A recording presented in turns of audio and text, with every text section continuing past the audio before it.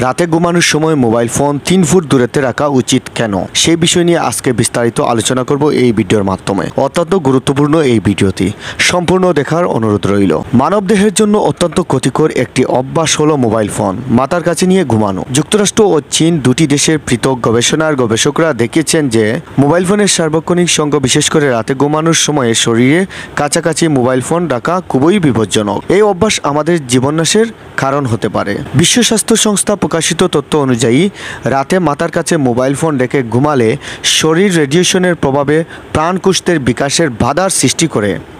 ফলে বিভিন্ন ধরনের ক্যান্সারে আক্রান্ত হওয়ার আশঙ্কা মারাত্মক আকারে বৃদ্ধি পায়। আরেকটি ব্যাপার হলো, অধিকাংশ লোক সকালে নির্দিষ্ট সময়ে ঘুম থেকে ওঠার জন্য মোবাইল ফোনে অ্যালার্ম দিয়ে ফোনটি মাথার পাশেই রেখে ঘুমিয়ে পড়েন। মোবাইলে অ্যালার্ম সেট করার পর থেকেই যতক্ষণ পর্যন্ত না আমরা সেটি বন্ধ করছি, ততক্ষণ পর্যন্ত ফোন থেকে রেডিও ট্রান্সমিশন হতে থাকে। অর্থাৎ মোবাইল ফোন থেকে অদৃশ্য তরঙ্গ বের হতে থাকে, যার প্রভাবে আমাদের শরীরে এবং মস্তিষ্কে মারাত্মক ক্ষতি হয়। সেই ফোনে যদি আবার চার্জ কম থাকে বা চার্জ দেওয়া অবস্থায় কেউ ঘুমিয়ে পড়েন, তাহলে তো আরও দ্বিগুণ ক্ষতি হতে পারে। গবেষকদের তথ্য মতে, ঘুমানোর সময় আমাদের শরীর থেকে মোবাইল ফোনটি যদি কম করে তিন ফুট দূরত্বে রাখা যায়, তাহলে ক্ষতি হওয়ার আশঙ্কা অনেকটাই কমে যায়। সেই কারণে এটি অত্যন্ত তিন ফুট দূরে রেখে ঘুমানোই ভালো। আর তাছাড়া আমরা তো কেউ ঘুমানোর সময় সোশ্যাল মিডিয়া বা অন্যান্য চেটিংয়ে থাকি না। সেজন্য মোবাইল ফোনটি তিন ফুট দূরে রেখে ঘুমালে কোনো সমস্যা হওয়ার অবকাশ নেই, বরং তার শরীরের জন্য ভালোই। একটা কথা মনে রাখা উচিত, সুস্থতা